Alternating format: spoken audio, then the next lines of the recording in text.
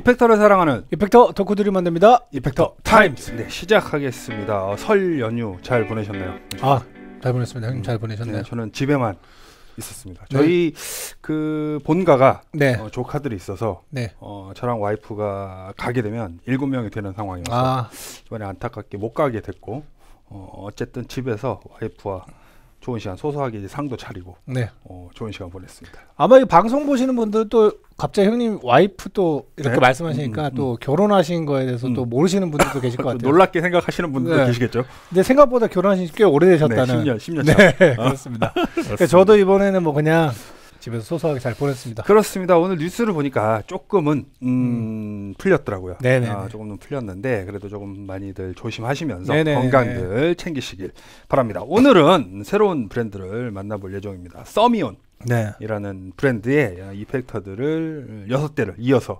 만나볼 예정이고요. 오늘은 high gain distortion 가솔린을 일단 리뷰를 생긴 게 범상치가 않습니다. 어, 일단 강하게 생겼죠. 네, 그렇습니다. 어, 를 가솔린을 리뷰를 해보도록 하겠습니다.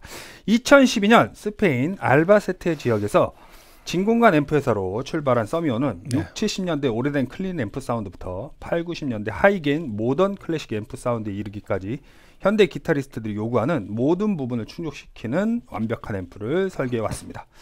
순수한 아날로그 장비이지만 다용도 디지털 장비와의 뛰어난 호환성을 갖춘 SE2 시스템과 첫 프리앰프 페달인 Gasoline과 Heart Breaker를 개발하며 연주자들의 큰 호응을 얻어냈으며 스튜디오 프리앰프 또는 녹음실 없이도 집이나 작업실에서 스튜디오 품질로 녹음할 수 있는 길을 개척하였습니다.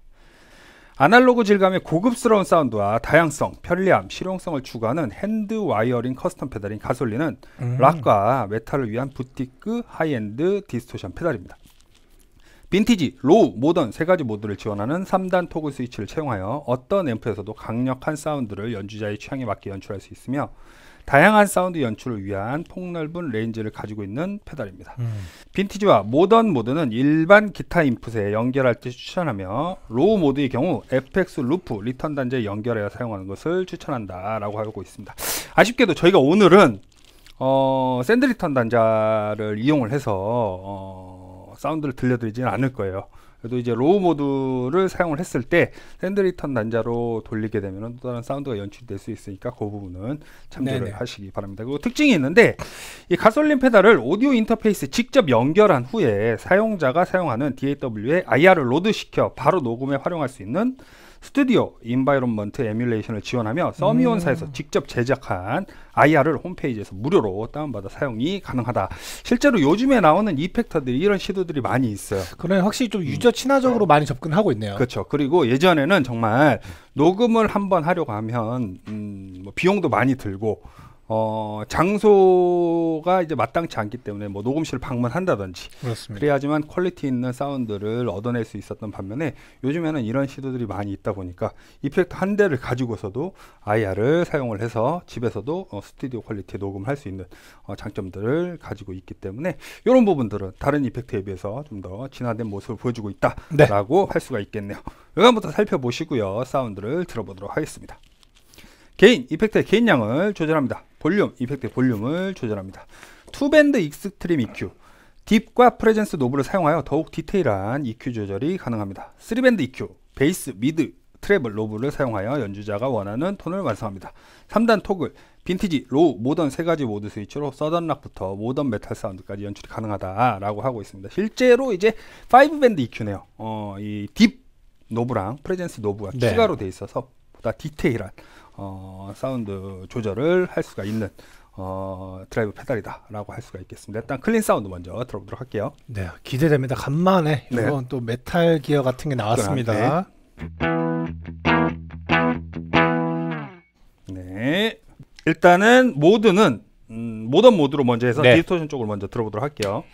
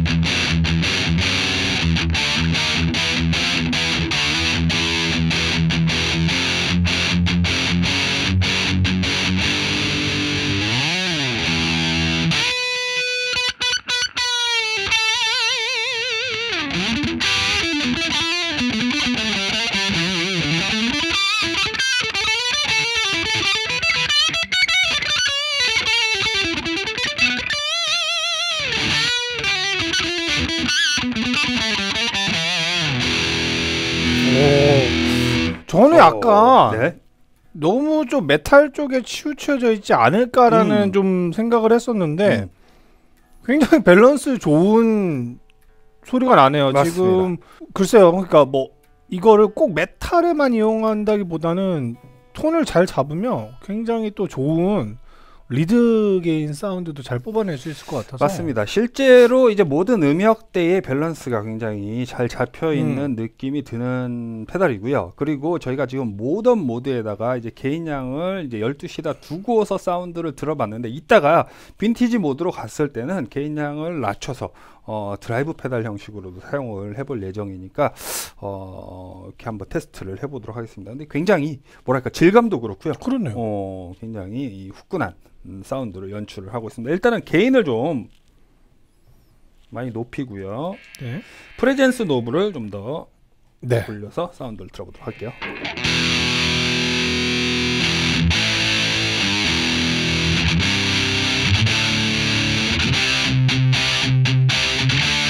개인이 충분히 나오네요. 지금 개인이 몇 시죠? 3시 3시?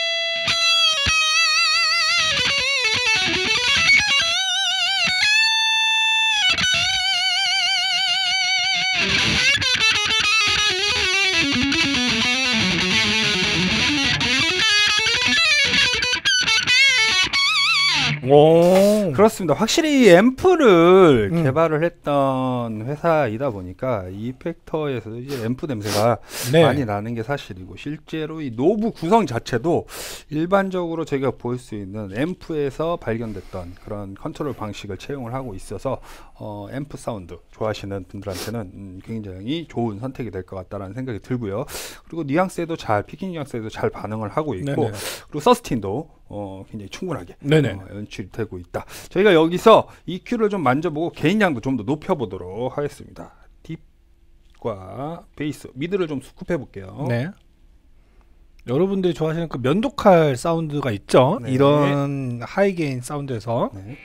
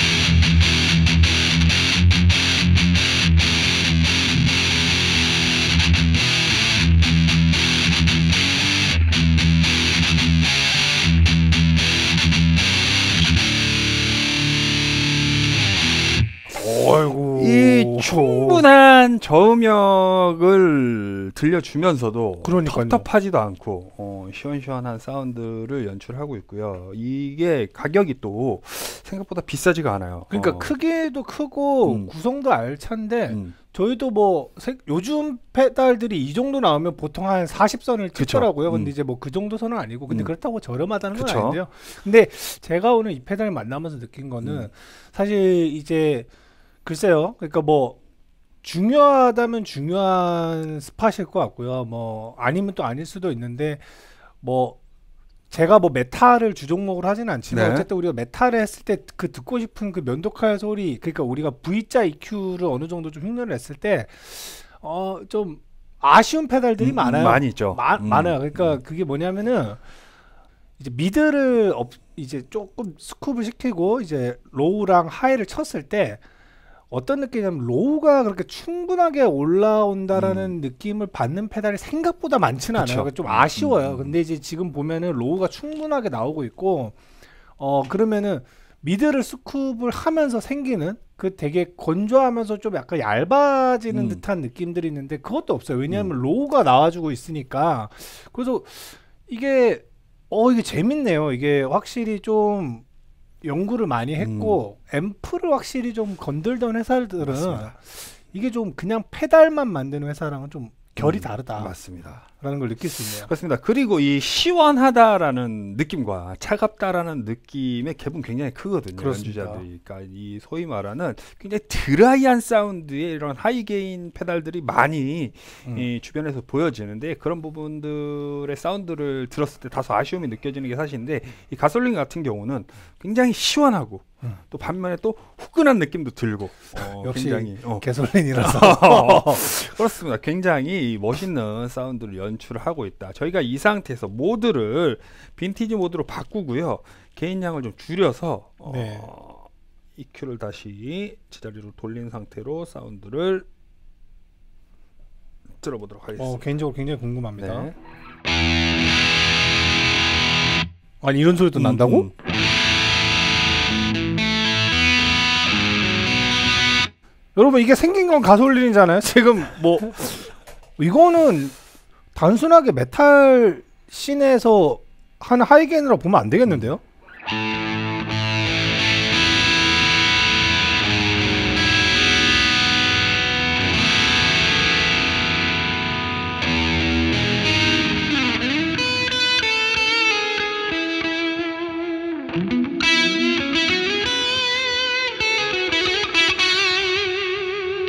이런 소리가 지금 나잖아요.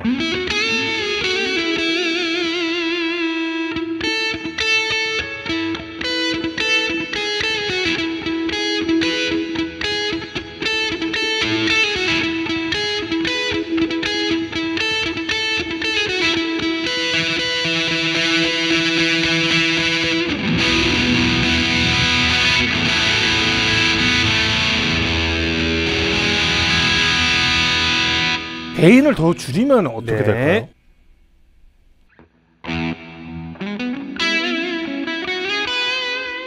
어 지금 여러분 드라이 소리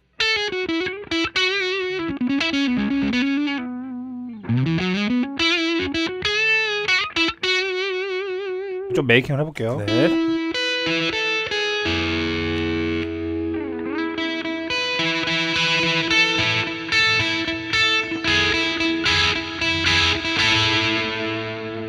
자 그럼 여기서 개인의 12시까지 가보겠습니다. 네.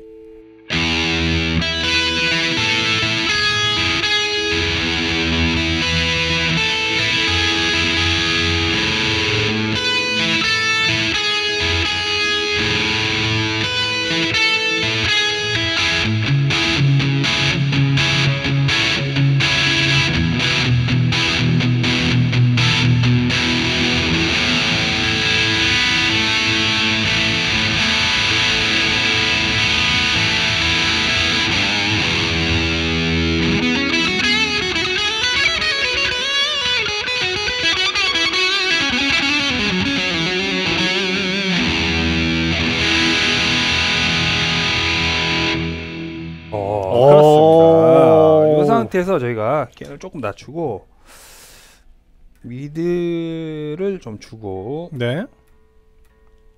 사운드를 한번 들어볼게요. 제가 생각한 것보다 훨씬 더 이 이 페달이 가지고 있는 이 사운드 폭이 넓다는 음, 거를 지금 음. 느껴지고 있습니다.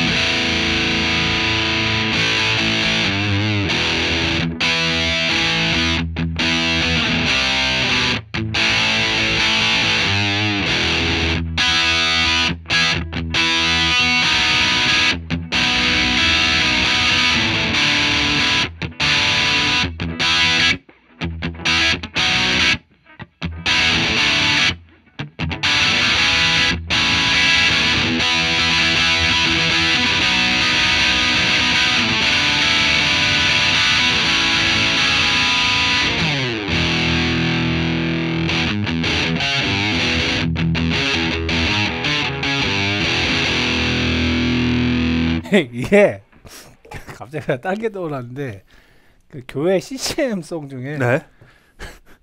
성령의 불타는 교회라고 있어요. 이거 불타고 있습니다, 여러분. 네네네. 아, 그 이게 어 저는 사실 이 페달이 어디까지 커버할 수 있을까 좀 걱정을 음. 했었는데 아까 일부러 확 줄여본 것도 좀 듣고 싶었었거든요. 보통 이제 이런 페달들이 나왔을 때 그쪽까지는 좀 커버를 많이 하지 못하는 모습들을 많이 보여줬습니다. 근데 저는 이거를 어떻게 뭐 벌써부터 좀 추천하고 싶은 게 이게 기타리스트들도 특성들이 다 있잖아요. 음. 근데 이제 뭐 또 교회 이야기가 나와서 마- 말인데 이 교회에서 막 둥중둥중 이렇게 칠 수는 없거든요. 근데 이제 원래 자신이 이제 그런 하드락이라든가 네. 메탈을 되게 좋아하던 아니면 막 되게 하이브리드라고 하고 막 technical한 연주를 좋아하는데 이제 교회에서 찬양팀을 하고 있다면 이 페달을 사시고 음. all-round로 되게 어, 커버를 하시는 것도 방법이겠네요. 어, 톤이 굉장히 다양합니다. 그렇습니다. 그리고 굉장히 멋있는 페달이다. 크게 기대를 하지는 않았어요. 왜냐면 아, 예. 디자인이. 어, 제 취향은 아니었기 때문에 그렇습니다. 기대를 하진 않았지만 정말로 어, 다양한 사운드를 연출을 할 수가 있고 그리고 음. 앞서 말씀을 드렸지만 이 친구를 어, low 모드로 한 다음에 어, send return으로 돌렸을 때 사운드도 굉장히 궁금해지고 IR을 사용을 했을 때 어, 사운드도 굉장히 궁금해지는 음, 시간이었습니다. 저희가 이제 계속해서 이 서미온의 페달들을 만나볼 네네. 예정이거든요. 근데 이제 시작이 굉장히 좋았다. 네네네. 라고 평가를 내릴 수 있겠네요. 은총 씨 먼저 이 high gain distortion Gasoline에 대한 한줄 평을 주신다면 한줄평 드리겠습니다. 아까 말씀드렸던 성령의 불타는 교회.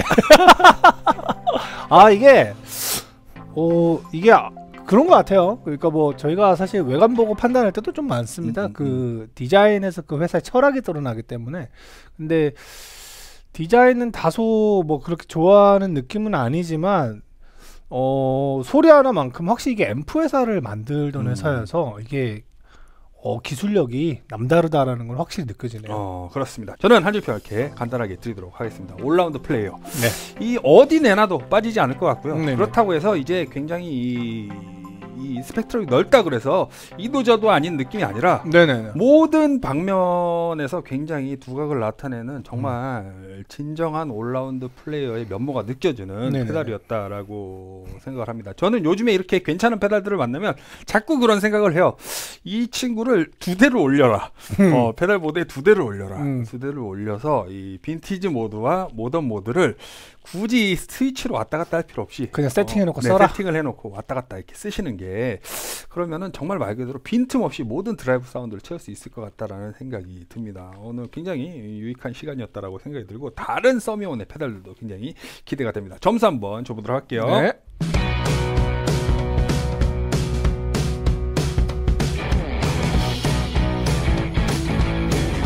하나, 둘, 셋. 8.0, 8.0 높은 점수를 받아갑니다. 저희가 이 2021년도 들어서 어, 이 점수를 리셋을 한번 하자 네. 했는데 그래도 계속해서 좋은 페달들이 나오다 보니까 이 8점대 네. 계속 유지가 되고 있어요. 네네. 이제 2020년도로 돌아가자고 한다면 저희가 거의 거의 9점에서 9.5점 네네. 이렇게 생각을 하시면. 될 것 같다라고 생각을 합니다. 굉장히 완성도 높은 페달이었고요.